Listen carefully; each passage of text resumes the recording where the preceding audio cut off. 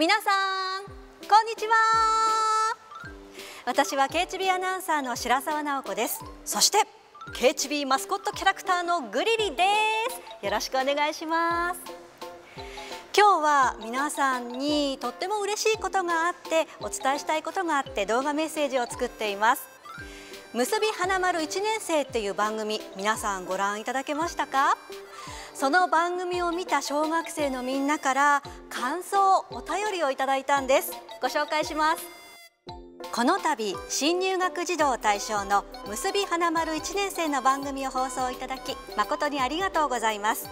学校生活のスタートを今か今かと待ちわびていた子どもたちに対し民放テレビ局4社共同による番組の放送は学び多い内容であり子どもたちや保護者をはじめ我々教職員にとっても大変ありがたいものでした。感謝の気持ちとして入学して間もない子どもたち一人一人が心を込めてお手紙を書きました。ということで富谷市立成田東小学校の先生方からお手紙をいただいているんです。そしてこちらご覧ください。1年生のみんなが結び丸とグリリを色をつけてくれたんです。塗り絵を描いてくれたんだね。本当にどうもありがとう。グリリ見てどう？嬉しいよね。本当に可愛く描いてくれました。こちらを見てほしいんですけど結び丸。すごくかっこよく色ついてるね。